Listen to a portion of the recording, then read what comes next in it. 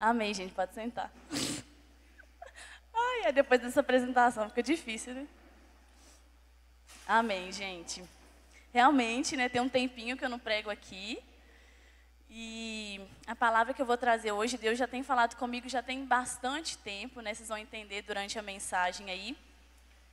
E o, tem, e o tema da palavra, né, os meninos vão colocar já já, é o memorial e o tempo. Né, não sei quem sabe o que, que significa memorial, né? Quando a gente fala memorial, o que, a gente pensa?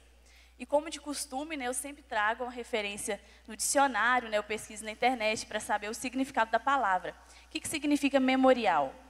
É relativo à memória, né, lembrança, digno de ser lembrado, uma coisa memorável.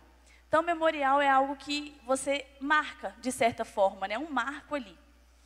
E os memoriais, então, eles são, rapidão, tá, gente? Não é aula de história, não, tá? Pode ficar tranquilo, rapidão, só a introdução da palavra. São espaços, né, ou monumentos que devem ser homenageados, lembrados e devem ser preservados na nossa memória. E aí, né, vocês podem lembrar, por exemplo, um exemplo assim, o memorial do Holocausto, que foi uma coisa né, que aconteceu há muitos anos atrás. É, não sei né, quem sabe, mas acho que todo mundo conhece né, história durante o Holocausto, os judeus, né, não só os judeus, mas principalmente os judeus, eles foram perseguidos pelos nazistas, então milhares de judeus foram mortos, né, foi um genocídio. E aí criaram esse memorial do Holocausto para homenagear essas vítimas. Né? E no caso desse memorial, era para justamente nunca mais acontecer. Foi um marco, mas um marco que não deveria acontecer, né? nunca mais. Então a gente entende que o memorial é um lugar de memória, né? é um marco, que ele pode transmitir uma mensagem. Assim como esse exemplo que eu dei, um exemplo muito triste que não deve se repetir, existem memoriais na Bíblia, por exemplo, que deve se repetir. E aí eu queria é, lembrar, né, muitas pessoas já conhecem, mas eu queria lembrar com vocês a história de Josué. É, essa palavra eu fui dar escolinha para as crianças e falou sobre não era o tema específico da aulinha, mas citou esse versículo. E isso ficou na minha cabeça até hoje, né? Quando eu fui preparar, durante a semana, quando eu fui preparar a palavra. E eu entendi que eu devia trazer essa palavra. E aí, gente, para quem não sabe, resumindo, resumindo, resumindo, quem quiser entender a história de Moisés, Josué, né, o povo no Egito, vai ler lá a parte de Êxodo, vocês podem ler, mas eu vou resumir, tá? Então, Moisés, ele foi responsável por livrar, né, ele, como fala? Como fala a palavra? Libertar, libertar o povo de Israel, né? Então, teve as dez pragas, aquela história, tá? As dez pragas e tudo mais. Então, Moisés, ele foi é, conduzido, né, ali pelo deserto durante 40 anos para libertar o povo. Combinado? Beleza. Nisso, é, Moisés morreu e Josué ficou é, com a responsabilidade de levar o povo para a terra prometida. A terra que Deus ele tinha falado lá no início, que era Canaã. Todo mundo conhece essa história. E aí, quando Josué começou a conduzir o povo, né, teve vários obstáculos. Um dos obstáculos foi o Rio Jordão.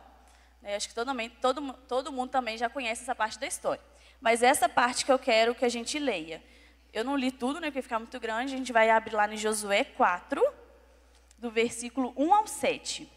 Nós vamos ler só essa parte mesmo da travessia do Rio Jordão, que fala um pouco do memorial tá? É, vamos lá, então, Josué 4, a partir do versículo 1. Quando toda a nação terminou de atravessar o Jordão, o Senhor disse a Josué: Escolha doze homens dentre o povo, um de cada tribo, e mande que apanhe doze pedras no meio do Jordão, do lugar onde os sacerdotes ficavam parados. Levem-nas com vocês para o local onde, onde forem passar a noite. Josué convocou os doze homens que escolhera dentre os israelitas, um de cada tribo, e lhes disse: Passem adiante da arca do Senhor, seu Deus, até o meio do Jordão. Ponha cada um de vocês uma pedra nos ombros, conforme o número das tribos dos israelitas.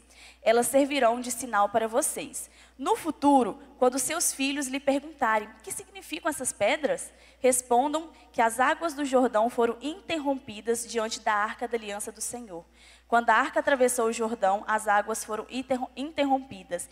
Essas pedras serão um memorial perpétuo para o povo de Israel. Então eu quero focar nessa parte, né? Então quando o povo foi atravessar o Rio Jordão, né, o, o rio ele se abriu, o povo conseguiu atravessar em solo seco, e aí Deus pediu para que eles separassem 12 pedras daquele lugar.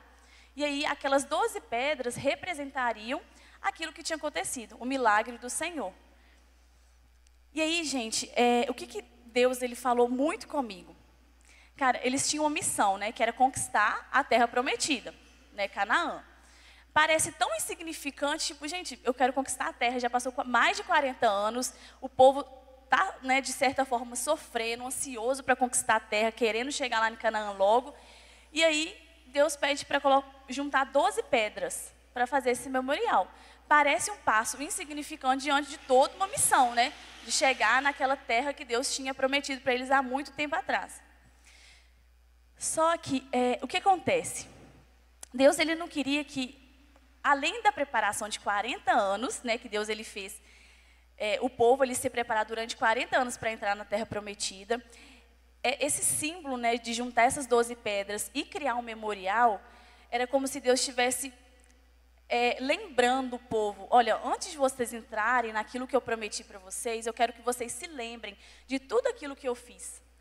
Eu quero que você se lembre, principalmente, né, no caso específico desse, desse versículo, das doze pedras, daquilo que, que eu fiz com vocês agora, no Rio Jordão, que foi separar o rio, vocês conseguiam atravessar em solo seco. E eu trouxe né, para a nossa vida, muitas vezes a gente quer conquistar algo, muitas vezes a gente tem uma promessa do Senhor, muitas vezes a gente quer conquistar o emprego, conquistar um casamento, uma namorada, uma vida profissional estável. E muito bom, né? Ótimo isso. Mas muitas vezes a gente fica tão focado na missão que a gente esquece de tudo aquilo que Deus já fez durante a missão, durante o processo, e de quem é o dono da missão. Então, é como se esse memorial trouxesse é, para as pessoas: olha, o foco é em mim, é em Deus, né? o foco é no Senhor, e não na missão em si, mas naquele que é dono da missão. Vocês estão conseguindo entender? Estou conseguindo explicar? Amém? Então, é, essas, né, esse memorial que foi construído ali parecia um passo talvez insignificante, mas na verdade o Senhor queria que eles lembrassem do milagre que o Senhor tinha feito, né? Daquilo que o Senhor já tinha prometido para eles e o Senhor estava cumprindo aquilo. E o memorial não ia ser lido, né, não ia ser visto só por aquelas pessoas que vivenciaram aquele milagre. Mas a ideia é justamente, assim como o memorial do Holocausto, assim como outros memoriais que a gente tem, inclusive no Brasil, a ideia é realmente transmitir uma mensagem. E qual era a mensagem? Deus foi fiel e Deus fez um milagre através da vida daquele povo. É, e muitas vezes, gente, o excesso de atividades, né, o, essa, esse correr atrás, né, muitas vezes do vento, mas ou de coisas legítimas, nos fazem perder esse foco de, cara, eu preciso chegar ali, mas eu preciso construir algo para chegar ali. Eu preciso construir memoriais diante do Senhor. Eu preciso construir é, experiências, memórias diante do Senhor. É, né, como eu disse, o significado de memorial, né, algo memorável, memória, tem a ver com memória, tem a ver com é digno de ser lembrado. E é, mais para frente eu vou trazer uma outra mensagem é, Quantas experiências nós tivemos com o Senhor durante toda a nossa vida? Mesmo aquelas pessoas que não conheceram o Senhor na infância, mesmo aquelas pessoas que acabaram de conhecer o Senhor, quando a gente para para pensar quantas coisas o Senhor tem feito por nós, na nossa família, as pessoas que o Senhor levantou né, durante toda a nossa caminhada, sendo cristã ou não, esses memoriais foram construídos não somente por nós, mas muitas vezes foram construídos também ao lado de outras pessoas. E essas doze pedras, né, essas doze pedras que foram tiradas do Rio Jordão, foram um lembrete daquilo que Deus tinha feito, mas quais são as pedras que nós levantamos diante do Senhor? Quais são os memoriais que nós temos levantado diante do Senhor durante toda a nossa caminhada? E quais os memoriais que a gente pode levantar? Porque agora, né, o tempo passado já foi. Não tem como a gente voltar atrás, não tem como a gente eh, fazer de novo. Acabou passou. Agora a gente tem que entender o que a gente vai construir diante do Senhor agora. Quais pedras devem ser lembradas? Quais pe pedras é digna de ser lembrada, deve ser memorável? Né? Qual memorial eu tenho construído diante do Senhor que vai ser lido? Assim como no versículo fala, né? Aqui no versículo é, 6 fala: No futuro, quando seus filhos lhe perguntarem, o que, que os nossos filhos vão ler da nossa vida? O que, que os seus amigos estão lendo da sua vida? O que os seus amigos estão vendo daquilo que você construiu durante toda a sua caminhada? Não só de forma espiritual, mas de forma da gente como todo, ser humano como todo, da nossa vida profissional, dos nossos relacionamentos, da nossa vida espiritual com Deus também. E quando a gente reconta né, as histórias que Jesus ele fez por nós, quando a gente passa a lembrar de tudo aquilo que o Senhor fez por nós, né, das experiências que a gente teve, dos livramentos que a gente nem sabe que a gente passou, a gente fica tão grato, gera um sentimento tão forte de gratidão, do tipo, gente, eu não merecia, mas o Senhor me ama. Eu não merecia, mas o Senhor é bom. Olha o que o Senhor fez durante toda a minha caminhada, me livrou disso. Ou não, às vezes você foi a pessoa que passou por momentos muito difíceis. Mas eu tenho certeza que quando a gente traz a memória, muitas coisas o Senhor fez. E muitas das coisas você nem sabe aquilo que o Senhor fez. E esse é o tema, o memorial.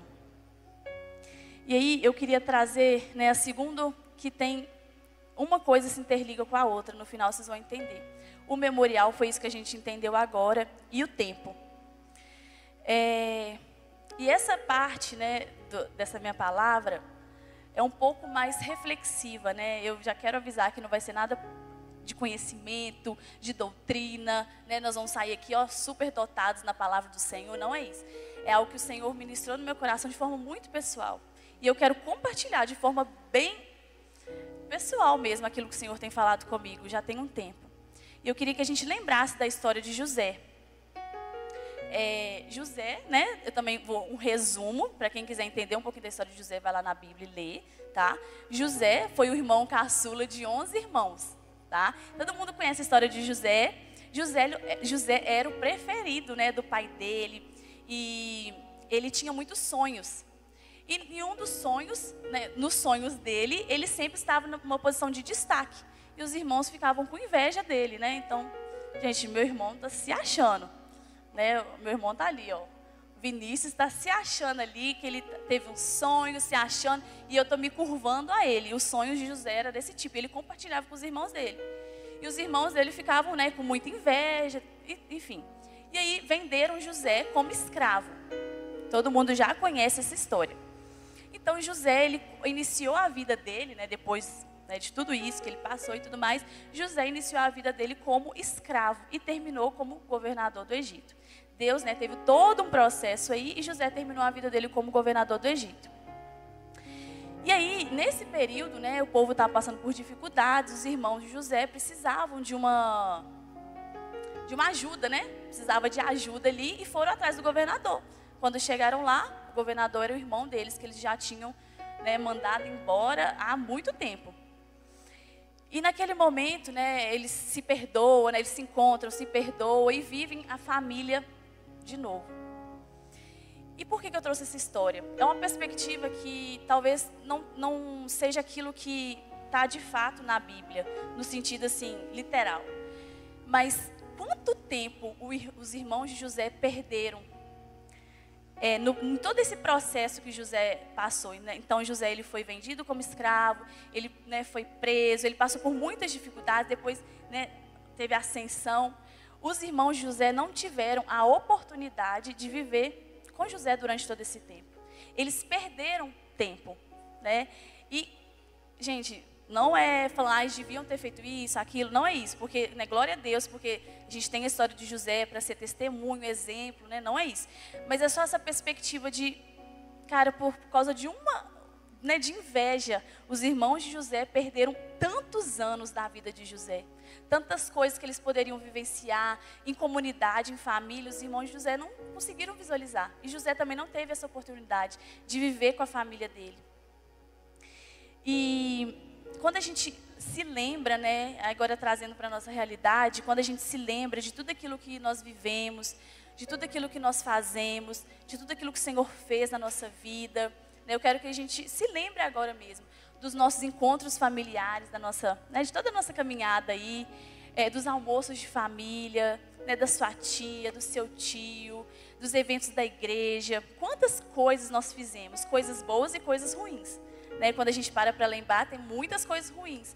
Mas quantas coisas nós fizemos durante toda a nossa caminhada, né, que é digno de ser lembrado e outras né, vão jogar no mar do esquecimento, acabou.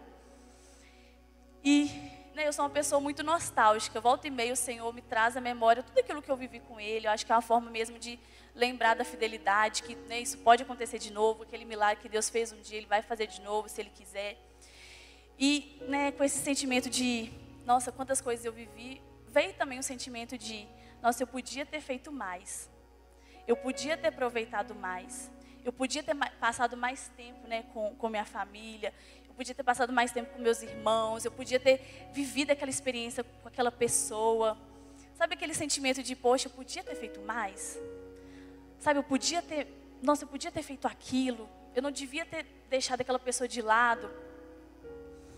Né, e já tem um tempo que eu tenho pensado sobre isso. Eu disse que é uma, uma reflexão pessoal, porque né, isso tudo né, começou quando eu perdi minha tia. Né? Quando eu perdi minha tia.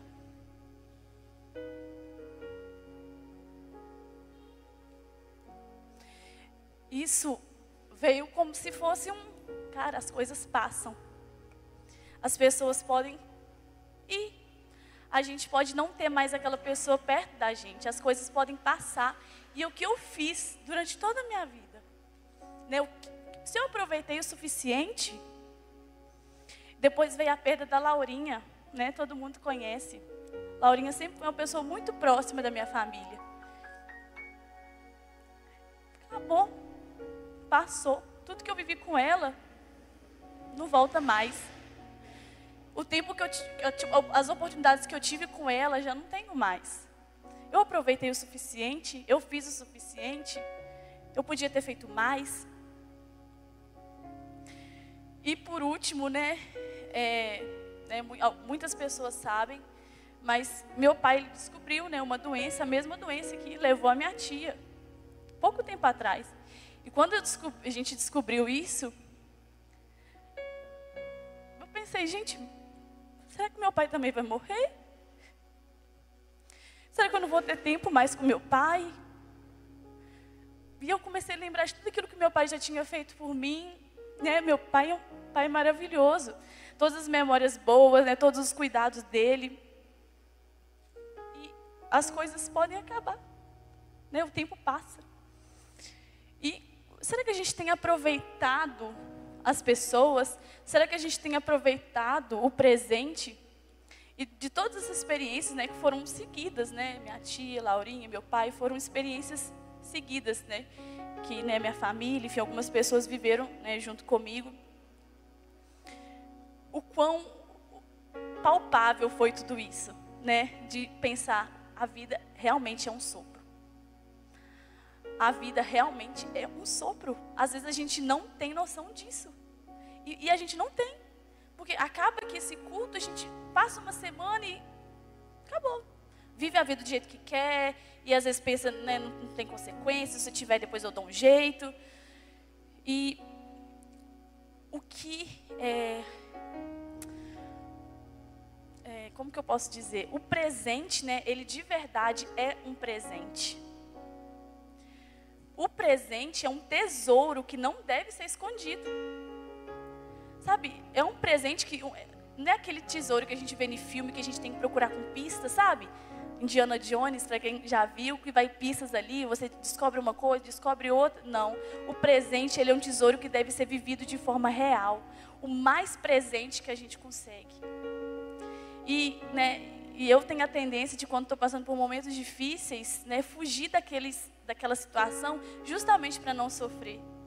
Só que quando a gente foge, a gente também foge, da, a gente foge daquela situação, a gente se distancia daquelas pessoas também, que estão passando por aquela situação. E aí, às vezes não tem mais tempo. Você se distanciou tanto, porque você não queria sofrer, porque estava muito difícil, e às vezes não tem mais tempo o tempo passou. a gente precisa aproveitar aquilo que a gente tem hoje, nosso tempo, hoje. É tão clichê essa palavra, gente, é tão, sabe, uma coisa que todo mundo fala, mas que o Senhor trouxe para mim de diversas formas. Né? Durante todas as experiências que eu contei para vocês, e da, também da última viagem que eu e Marquinhos fizemos, né? A gente foi ver o pôr do sol, no lugar que todo mundo via o pôr do sol. E aí eu percebi, né, vi uma cena assim de um senhorzinho de cadeira de rodas e atrás uma pessoa adulta assim, que é essa foto aqui. Não dá para, né, na hora que eu tirei essa foto, o, o adulto, né, ele não, ele foi para o lado, mas ele estava atrás assim da cadeira de rodas. Eles vendo o pôr do sol, virado para o pôr do sol e, né, o adulto ali, né, sem ser o senhorzinho, bem debilitado, ele começa a chorar, se emocionar. Na hora eu pensei, cara, ele deve estar tá perdendo o pai dele. Ele é um senhorzinho velhinho, sem ter. Sabe, parece que não. Sabe quando você entende que a pessoa realmente não tem muito tempo? E ele se emocionando ali, né? Com, eu entendi que era o pai, né? Não sei se é por causa né, que eu vivi com meu pai, mas na minha cabeça ele era o pai e o filho. E ele se emocionando. E na hora eu entendi o que Deus queria falar. Porque juntei todas essas experiências e mais isso, tipo, talvez ele não tenha mais oportunidade de ver o pôr do sol com o pai dele. Talvez aquele, aquele pôr do sol foi o último. A gente nunca sabe, gente, o dia de amanhã. E, de novo, é tão clichê, mas quem de nós vive de fato dessa forma? Como se não tivesse um amanhã, né? Como se a gente tivesse que fazer o máximo, o nosso melhor todos os dias, aproveitar a nossa família o melhor. E uma outra coisa que eu percebo, né, que nós, enquanto igreja, nós criamos um relacionamento muito forte com as pessoas da igreja. Né? Nós criamos um relacionamento muito forte, porque as pessoas nos ajudam em oração, nós podemos ser vulneráveis, nós entendemos aquilo que é do Espírito, porque nós somos do Espírito. Nós criamos um relacionamento tão forte que muitas das vezes a nossa família fica em segundo plano. Não a nossa família só pai, mãe, não é só isso, mas o nosso tio, a nossa tia, a nossa avó, a nossa família em geral. A gente cria um relacionamento tão forte, então tem evento, eu vou. Tem culto, eu vou. E tem que vir mesmo, tá? Mas e aniversário da sua avó, você não foi? E o almoço da sua tia, que faz uma lasanha maravilhosa? Você não foi? Sabe, a gente valoriza tanto os nossos irmãos e continuemos assim. Mas muitas vezes nós não priorizamos a nossa família. Muitas das vezes a gente não fala de Jesus para a nossa família. A gente fala para o nosso amigo da faculdade, a gente fala para a pessoa da escola, a gente fala para alguém, né, alguém que está na rua ali. E a nossa família, e seu tio, seu primo. Essa palavra, gente, é toda para mim. Literalmente, tudo que eu estou falando aqui é para mim. E Deus quis que eu compartilhasse, mas essa palavra é para mim. Então, nós somos tão né, apegados com as pessoas da igreja e muitas vezes nós não valorizamos, nós não honramos, porque foram criados memoriais né, durante toda a nossa vida, com os nossos tios, com os, os almoços de família, com os aniversários, memoriais que foram construídos ao nosso lado, né, ao lado da nossa família, que devem ser valorizados, que devem ser lembrados, que devem ser é, digno né, de ser lembrado, como eu disse. E isso, gente, eu, isso eu vivi, né? Isso daqui que eu estou falando, eu né, sou da igreja, de, dessa igreja, né? Eu já era crente, mas eu sou dessa igreja desde os 12 anos. Hoje eu tenho 27 anos. Tudo que tinha nessa igreja, eu estava aqui. Deixava ó, os eventos de família, né? De lado. Quantos aniversários eu faltei? Quantos almoços eu não fui? Quantas datas comemorativas eu não estava presente? E, e dava para eu fazer os dois. Por que, que eu não fiz? Porque eu não valorizei porque eu não amei, porque eu não honrei aquelas pessoas da minha família. E né, com tudo isso que, que aconteceu né, na minha vida, principalmente em relação à minha tia, eu comecei a ver a minha família com outros olhos. Eu comecei a ver a minha, minha outra tia, tipo, gente, eu amo a minha tia mesmo. Sabe aquele almoço de família que ela me deu um presente, ou que ela lembrou de mim com doce? Sabe, coisas tão banais, mas quando a gente traz a memória, são tão importantes durante toda a nossa vida. E eu queria ler né, Eclesiastes 3, versículo 1 a 8, que fala assim: Para tudo há uma ocasião certa, há um tempo certo para cada propósito debaixo do céu. Tempo de nascer e tempo de morrer, tempo de plantar e tempo de arrancar o que se plantou, tempo de matar e tempo de curar, tempo de derrubar e tempo de construir, tempo de chorar e tempo de rir, tempo de prantear e tempo de dançar, tempo de espalhar pedras e tempo de ajuntá-las, tempo de abraçar e tempo de se conter, tempo de procurar e tempo de desistir, tempo de guardar e tempo de jogar fora, tempo de rasgar e tempo de costurar, tempo de calar e tempo de falar, tempo de amar e tempo de odiar, tempo de lutar e tempo de viver em paz. Versículo também muito clássico. Tudo existe um tempo. Hoje nós estamos vivendo aqui na igreja, então vamos aproveitar em comunidade. Quando você estiver em família, valorize, honre a sua família. Não deixe, gente, de viver momentos com a família de vocês. Não deixe de honrar a família de vocês. Eu estou falando isso para mim, eu preciso fazer isso mais e mais, todo mundo. A gente precisa não somente valorizar os nossos amigos, mas as pessoas que estão ao nosso redor como um todo amá-los de verdade com o amor de Jesus. Nós somos cristãos e às vezes a nossa família não enxerga isso.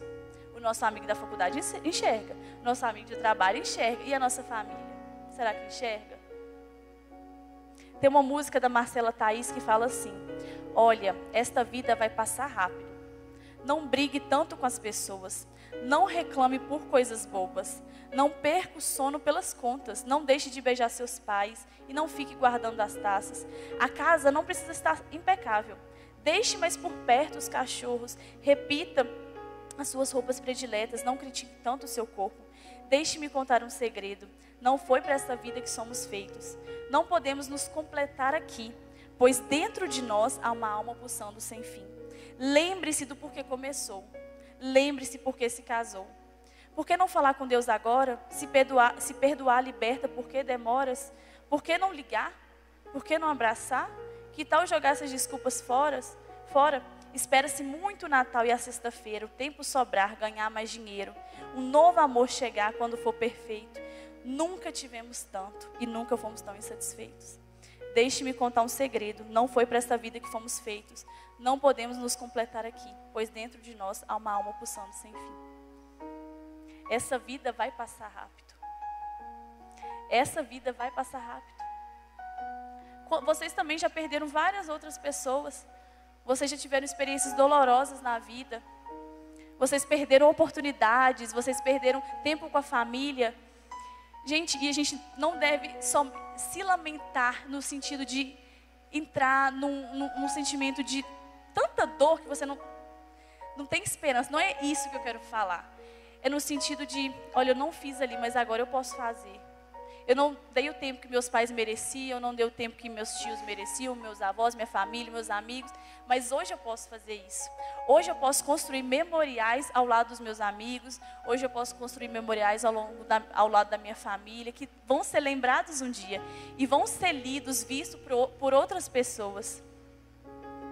Para terminar, é, eu vou ler Salmos 39, versículo 4. Mostra-me, Senhor, o fim da minha vida e o número dos meus dias, para que eu saiba quão frágil sou. Deixe os meus, aos meus dias o cumprimento de um palmo. A duração da minha vida é nada diante de ti. De fato, o homem não passa de um sopro.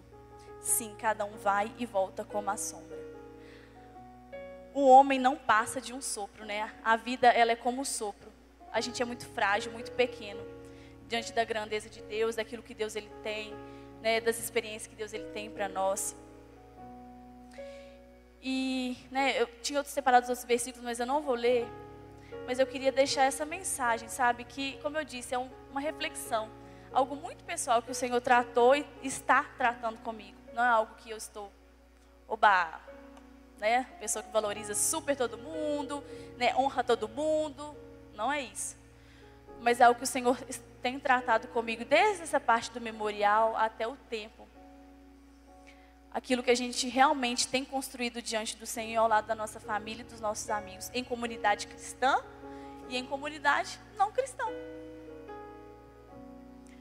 E eu queria terminar né, com uma oração, queria que vocês se levantassem. Queria que vocês se lembrassem daquilo que você já viveu com a sua família, daquilo que você viveu com seus amigos, né, das memórias que foram construídas com você, por você, e que a gente entenda a, a vida mesmo como um sopro. Não viver desesperado, né? Porque eu passei por esse momento, né? Quando aconteceu né, a doença do meu pai, eu vivia desesperada, achando que eu ia perder meu pai a qualquer, a qualquer momento. Não é isso que o Senhor quer de nós, mas entender que eu não sei o dia de amanhã, então eu preciso estar aqui hoje. Eu preciso aproveitar os momentos hoje. O presente é um presente. E a gente tem que viver isso de forma real na nossa vida. Amém? Deus, eu quero te entregar essa palavra, Jesus. Obrigada, Senhor, por cada um aqui. Obrigada, Senhor, por essa mensagem, Deus, que o Senhor falou meu coração. Eu quero mesmo, Senhor, que o Senhor, Deus, cumpra a sua vontade na vida de cada um aqui. Em nome de Jesus, Deus, que nós venhamos entender, Deus, o sentido da vida, a nossa missão, os memoriais que nós devemos construir diante do Senhor, as experiências que nós vivemos com o Senhor. Traga à nossa memória, Deus, tudo aquilo que o Senhor fez por nós, mesmo aquilo que nós não conhecemos ainda, traz à nossa memória para nós conhecermos de fato. Senhor, em nome de Jesus, gere em nós um amor, Deus, pela nossa família, a ponto de honrá-los, valorizá-los, Deus, em nome de Jesus. Que nós não venhamos, Deus, deixar em segundo plano, Deus, aquilo que é de extrema importância para o Senhor. Senhor, desenvolve em nós um coração como o do Senhor, Pai.